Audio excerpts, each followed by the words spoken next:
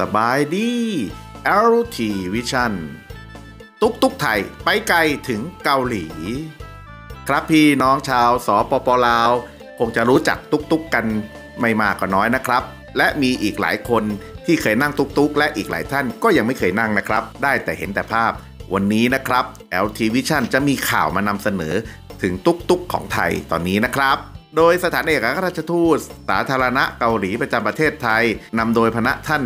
นายมุนซึงยอน เอกอัครราชทูตสาธารณะเกาหลีประจำประเทศไทย และศูนย์วัฒนธรรมเกาหลีประจำประเทศไทย จะจัดงานรับมอบรถสำล้อไทยหรือว่าตุ๊กตุกนะครับ จากมูลนิธิเครือเจริญพกพันธ์นำโดยท่านมาริสาเจียวรานนท์ ที่ปรึกษาพิเศษประธานกรรมการอาวุโส กลุ่มบริษัท เครือเจริญพกพันธ์เพื่อเพื่อจัดส่งไปแสดงที่ศูนย์วัฒนธรรมอาเซียน ณเมืองปูซาน ศูนย์วัฒนธรรมเกาหลี วันที่ 27 ที่ผ่านมาครับ โดยภายในงานมีผู้เข้าร่วมมากกว่า 70 ท่าน เริ่มต้นด้วยการแสดงซามูโนรี จากนักเรียนโรงเรียนนานาชาติเกาหลี 12 คน ต่อด้วยการแสดงแทพยองมู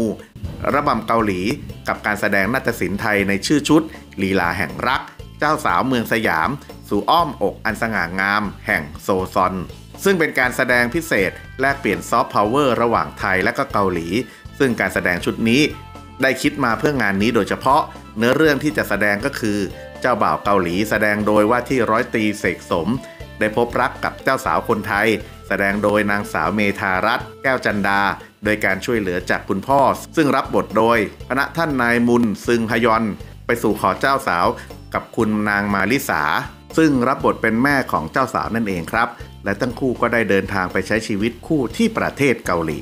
ท่านทูตมุนได้กล่าวครับว่างานวันนี้จัดขึ้นก็เพื่อขอบคุณแล้วก็ให้เกียรติคุณมาริสาที่บริจาคตุกตุกให้กับทางศูนย์วัฒนธรรมอาเซียน ซึ่งรถตุกตุกเป็นสัญลักษณ์ของประเทศไทย และหวังเป็นอย่างยิ่งครับว่าผู้ที่ได้เข้าเยี่ยมชมศูนย์วัฒนธรรมอาเซียน เมืองปูซาน จะได้ระลึกถึงความทรงจำที่ดีต่อประเทศไทย และรู้จักประเทศไทยมากยิ่งขึ้น และเวลานี้ครับประเทศไทยก็พยายามที่จะส่งเสริมซอฟต์พาวเวอร์ของประเทศไทยเช่นกัน งานนี้เป็นส่วนหนึ่งในการร่วมมือส่งเสริมซอฟต์พาวเวอร์ระหว่างเกาหลีและไทยด้วยเช่นกันครับสำหรับรถตุ๊กตุ๊กที่ได้บริจาคในครั้งนี้จะเป็นสัญลักษณ์ของความสัมพันธ์มิตรภาพระหว่างสองประเทศ และถือเป็นการโปรโมทประเทศไทยไปด้วย โดยตุ๊กตุ๊กจะส่งไปยังสาธารณรัฐเกาหลีในวันที่ 7 กรกฎาคมนี้ครับ